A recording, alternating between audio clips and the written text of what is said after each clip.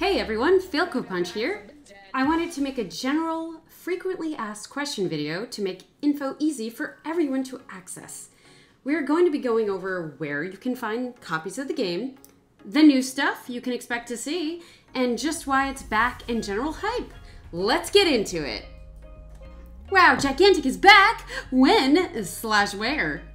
Alright, so Gigantic Rampage Edition will give fans of the original game a bigger and more gigantic experience than ever before, while welcoming new players, including hero shooter and MOBA fans, to the thrilling team based multiplayer game. The game will launch on PC, PlayStation 5, Xbox Series XS, PlayStation 4, and Xbox One on April 9th, 2024 for $19.99. Yes, you have heard that right, the game costs money now. If you're looking for a deal, there are other ways to get your hands on some keys for the Steam version. Try Humble Bundle, Green Man Gaming, or this last weird one that you have to meet some requirements for. It's accessible via this Twitter link that I'll post here. It will bring you to this site called Lurkit, where you will have to create an account and uh, meet their requirements. I couldn't find the game just by searching for whatever reason, so either put in the URL I'll provide here, or go through Twitter for that one. I'll put all those links in the description below as well. So, Gigantic is back! I beg your pardon? Well, the devs heard our cries of sadness, and we have a new studio in charge of bringing back our beloved game. Gigantic Rampage Edition is developed by Abstraction Games. They seem like a bunch of Gigantic fans that are aiming to keep what we love about Gigantic, while adding some new features and quality of life changes. Everything will be available in this pay to play version, which means you can unlock everything in game with gameplay or in game currency and no microtransactions. The game is still capped at 60 FPS, just in case you were wondering, but we love it anyway, and for most, this shouldn't be an issue. Alright, so what's new in the Rampage edition? Well, the new stuff by abstraction is this. We have Rush Mode. Rush Mode is a brand new alternate game mode introduced in Rampage Edition that emphasizes shorter game times and reduced complexity, meaning you should be able to just get into a game and enjoy the experience with very little know how. Here are some details. All heroes start at level 10 with all skill upgrades available. Only one wound must be dealt to the enemy guardian to achieve victory. Each side starts with an adult summer bloomer, or two depending on the map. These act as a heal station. There's no summoning of creatures, meaning you can keep all those ult charges for destroying your enemies instead. All power must be collected manually by heroes at certain spots on the map, or obtained by killing enemy heroes, 10 power per kill, or bloomers, 20 per kill. You can swap heroes and builds as long as you are dead or on your team's respective airship. And yes, you can re enter the airship. Another new feature is the new Skill Builder. Under the Builds tab of each respective hero, you can create up to three custom builds per hero.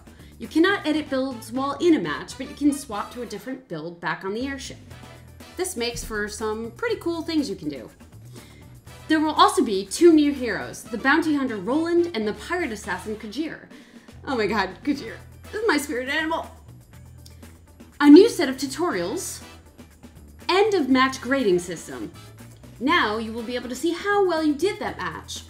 The stats are grouped into three different categories. One is offensive, one is defensive, and one is support. The offense ones are, of course, kills and assists. For defense, you want as few deaths as possible. But apparently it also looks at damage taken. For support, it looks at the healing, buffs, and debuffs that you've done in order to give you a grade. How exciting! Wow, a C! Yay! Another huge update is that crossplay is now active. This means you can play with your friends on the available platforms once you opt into crossplay in the settings menu. Will my progress carry over from the original game or the beta? Sadly, no. You can log in with your old ARC account that you may have used to play the OG run of Gigantic, but none of your progress will transfer over. Big sad. I will miss all my skins, but I'm sure we will all earn them again in no time. Wait a sec, I heard about Rush Mode, but what about the original game mode, Clash? Yes, Clash will return but will only be unlocked at account level 10. As of the February 2024 beta, Rush Mode will be the only available game mode for you to play, as it acts as a primer for new players to come to grips with the heroes, tactics, and core combat game loop of Gigantic. Creature loadouts are also coming back with all creatures that were available up until the January 2018 patch of the original run of Gigantic. These creatures will only be available for use or summoning in Clash mode. You cannot summon in Rush.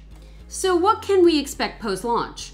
We are getting new skins that they will announce, and most excitingly, finally getting ranked mode. This is a post launch content feature, so we don't know when it'll be out, but look at all these super shiny badges and rewards you can get. Ooh, art! That's all I know about post launch features. Uh, if I find anything else out, you'll be the first to know. Get hyped! Abstraction Games seems genuinely excited to give us Gigantic back. Make sure you join the Go Gigantic Discord for any other questions and join the community as we all wait patiently for Gigantic's return. I am hyped as and I hope to see you all in the airship. Failco out!